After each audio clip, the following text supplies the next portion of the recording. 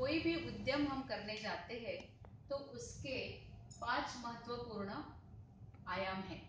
पहला है संसाधन, यानी रिसोर्सेस कोई भी व्यवसाय की जो आवश्यकता है, उसमें चीज़ें जो लगती है, उसको रिसोर्सेस हम कह सकते हैं, या संसाधन हम कह सकते हैं।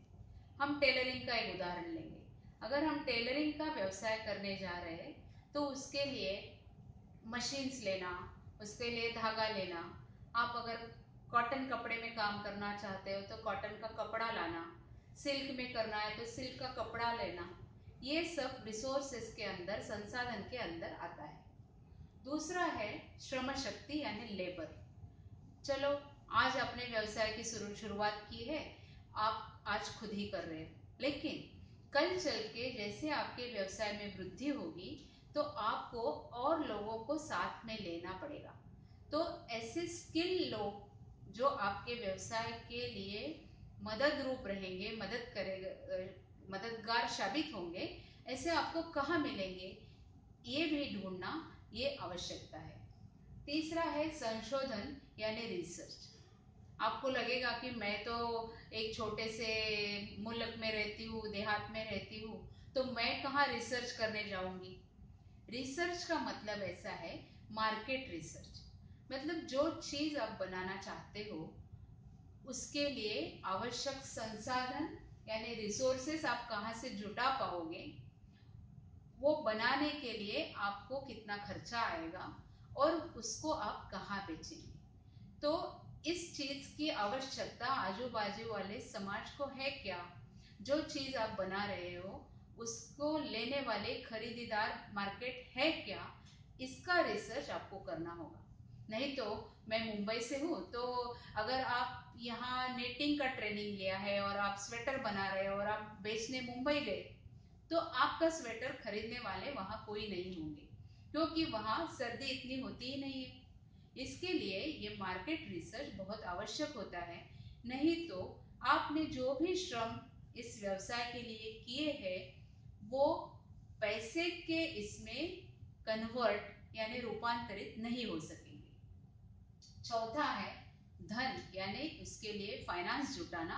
उसके बारे में हम और थोड़ा विस्तार से सोचेंगे। और पांचवा महत्वपूर्ण बिंदु है वो मार्केटिंग मैंने मेरे बैंकिंग करियर में बहुत सारी ऐसी महिलाएँ देखी है जो कुछ ना कुछ काम करती है अच्छा कुछ बनाती है, लेकिन अच्छा मार्केट ना मिलने से या खरीदने वाले लोग अच्छी कीमत में खरीदने वाले लोग ना मिलने के कारण जितना मुनाफा उनको होना चाहिए, उतना नहीं होता है, ऐसा दिखने में मिलता है। इसलिए मार्केट ढूंढना और बाद में उद्यम तय करना, ये बहुत आवश्यक है। बहुत बार होता उल्टा है कि महिलाएँ पहले बनाना चालू करती है और बेचना, बेचने के लिए बाद में निकलती है। तो मार्केट उन्हें जितनी मात्रा में चाहिए, उतना नहीं मिलता तो मार्केट के बारे में बहुत बारीकी से सोचना, ये उद्यमिता की यशस्विता का एक बहुत बड़ा पहलू है या आयाम है। अभी हम फिर से फाइनेंस यानी धन के बारे में थोड़ा विस्तार से जानेंगे। अब हम भारतीय महिला बैंक में है। महिलाओं के लिए बैंक शुरू हो गई है तो कोई ना कोई महिलाएँ हमें फ़ोन करके पूछती है कि, मैडम, हमें लोन मिलेगा क्या? तो हम उनको जवाब देते हैं हाँ मिलेगा, आप क्या करना चाहते हो? नहीं, पहले आप बताएँ कि लोन मिलेगा क्या? बाद में हम सोचेंगे। तो पहली आवश्यकता इसकी ये है कि आपके मन में आपका बिज़नेस प्लान पहले तैयार होना चाहिए, बाद में पैसा जुटाने का आपने सोचना चाहिए। पैसा मिला है, करके हम व्यवसाय करेंगे, ऐसा कभी नहीं होता है। ये उल्टी चाल हो जाएगी। इसके लिए अगर आपको व्यवसाय करना है तो व्यवसाय के बारे में पहला सोचो और बाद में धन के बारे में सोचो। अब इस व्यवसाय का रोड मैप क्या है? प्रोजेक्ट रिपोर्ट जब हम लोगों को आवश्यकताएँ बताए कि आपको कर्जा लेना है तो प्रोजेक्ट रिपोर्ट लगेगा। तो लोगों को लगता है कि कोई चार्टर्ड अकाउंटेंट से बनाया हुआ बड़ा बड़ा ऐसा कुछ प्रोजेक्ट रिपोर्ट चाहिए। मैं तो मानती हूँ कि इतने बड़े प्रोजेक्ट रिपोर्ट की छोटे व्यवसाय के लिए कोई आवश्यकता नहीं होती। लेकिन आप जो भी व्यवसाय करना चाहते हो वो व्यवसाय कैसे होगा? आज आपने पाँच चीज़ों का निर्माण किया। पाँच चीज़ें बनाने के लिए मानो आपको सौ रुपए का खर्चा आया।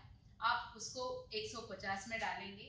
इसका मतलब है पाँच चीज़ें बनाने का खर्चा सौ रुपया बेचने का खर, बेचने की कीमत 150 रुपए पचास रुपए आपका मुनाफा। ऐसे आज आप पाँच बना रहे कल कितना बनाओगे और कितना बनाओगे? आगे वाले पाँच सालों में आपका व्यवसाय कैसे बढ़ेगा इसको प्रोजेक्ट रिपोर्ट या व्यवसाय का रोड मैप हम कह सकते हैं। दूसरी आवश्यकता है बैंक लोन के लिए वो मार्जिन है। मार्जिन इसका मतलब है कोई भी व्यवसाय करने के लिए समझो सौ रुपया खर्चा आ रहा है तो आप अपने खुद की तरफ़ से कितने पैसे इतने डा, इसमें डालोगे उसको मार्जिन कहा जाता है। और कम से कम बैंक 10 परसेंट बीस परसेंट, पच्चीस परसेंट ऐसे मार्जिन के बिना जनरली कोई लोन मंजूर नहीं करते हैं। तो व्यवसाय शुरू करने की तैयारी करते समय आपको ये आपका मार्जिन मनी जुटाना, इसकी भी आवश्यकता है। अर्थात ये औसतम राशि होगी, बाकी राशि देने के लिए बैंक आपके साथ में है ही। तीसरी यशस्वी उद्यमिता के और यशस्वी बैंक खाता चलाने की जो आवश्यकता है, वो है जिस चीज़ के लिए आपने कर्जा लिया है, उसी चीज़ के लिए उसको, उसका उपयोग करना। अगर ऐसा नहीं होता है, मानो आपने टेलरिंग के लिए पच्चीस हज़ार रुपया लिया और उसमें से दस हज़ार रुपया गाँव गए उसमें खर्चा हो गया, और दो हज़ार रुपये स्कूल की फ़ीस में खर्चा हो गया तो आपको उसकी किस्त वापस करने में हमेशा कोई ना कोई आपत्ति आ जाएगी, तकलीफ़ हो जाएगी। इसलिए व्यवसाय जिस काम के लिए पैसा लिया, उसके लिए ही उसका उपयोग करना ये अनिवार्य है। चौथा है किस्त वापसी में नियमितता। आपने एनपीए शब्द सुना होगा, अगर तीन महीने आपकी किस्त समय पे नहीं आती है तो बैंक आपके खाते को एनपीए कर देती है इसका मतलब ऐसा होता है कि अगर एक बार आपका खाता एनपीए हो गया तो आपको फिर से कर्ज मिलने का लोन लेने का कोई मौका उपलब्ध नहीं है। और आप ऐसा सोचती होगी कि भारतीय महिला बैंक में नहीं सही तो और कोई बैंक से मैं ले लूँगी। लेकिन ऐसा नहीं होता है। आजकल कंप्यूटर है और सिबिल नाम की एक प्रणाली बैंकर्स के लिए उपलब्ध है, जिसके ज़रिए आपके खाते के बारे में जानकारी अन्य बैंकों को भी दी जाती है। इसलिए एक बैंक में आपका खाता खराब हो गया तो कोई दूसरा बैंक भी आपको इसके लिए लोन नहीं देगा इसलिए किस्त वापसी में नियमितता रखना टाइमली रीपेमेंट ये बहुत बहुत बहुत महत्वपूर्ण ऐसी बात है अभी व्यवसाय तो मैंने पहले भी जैसे बताया कि पूरे साल में समान नहीं होता है। व्यवसाय की एक गति होती है। आज यहाँ व्यवसाय तो कल बढ़ेगा, फिर से नीचे आएगा, फिर से बढ़ेगा, ऐसी एक गति व्यवसाय की होती है। लेकिन आपकी किस्त है ईएमआई है, वो हर महीने आपको समान देनी होगी। इसलिए जिस समय आपके पास ज़्यादा पैसा, ज़्यादा मुनाफा आया है, उसमें से आपको दो किस्त के पैसे बाजू में रखना, अलग से रखना, ये बहुत बहुत ज़रूरी है। वैसे आपातकाल की व्यवस्था। मानो आप कुछ काम कर रहे हो और आप ही बीमार हो गए तो आपका काम बंद होगा।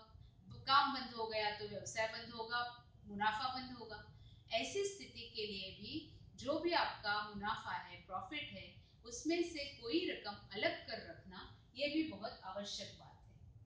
और अंतिम विषय इसका है कि आपका जो मिला हुआ मुनाफा है, उसका विनियोग आप कैसा करोगे? ये मानिए, मान के चलिए कि जितना भी पैसा हमारे पास आता है, वो हमें कम ही लगता है, क्योंकि हमारी आवश्यकताएँ बढ़ती जाती है। लेकिन हर समय जितना भी पैसा हमारे घर में आता है, वो चाहे व्यवसाय से हो या चाहे सैलरी से हो, इसमें से 20 से 30 प्रतिशत रकम आपको हमेशा बचत के रूप में एलआईसी के रूप में पोस्ट ऑफ़िस में कहीं ना कहीं रकम रखनी चाहिए। तो ही आपका जो बुढ़ापे का समय है, वो बुढ़ापे का समय जब आपको और दवाइयों की कुछ न कुछ आवश्यकता होगी, आप और कमाना नहीं, कमा नहीं कर पाओगे, इस समय की आवश्यकताओं के लिए अलग रखना और मुनाफे का कुछ न कुछ हिस्सा आपकी व्यवसाय की वृद्धि के लिए भी आपको डालना होगा। अगर आप इन सब चीज़ों को ध्यान रखते हैं तो मुझे लगता है कि आप यशस्वी उद्यमी ज़रूर बन जाएँगे। और ऐसा कहा जाता है कि आप अगर उड़ नहीं सकते तो दौड़ लगाओ। दौड़ भी नहीं सकते तो चलते रहो।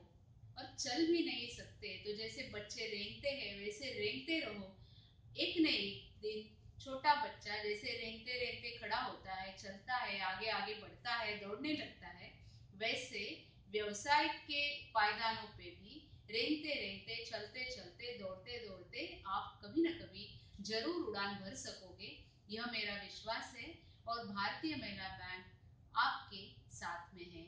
धन्यवाद।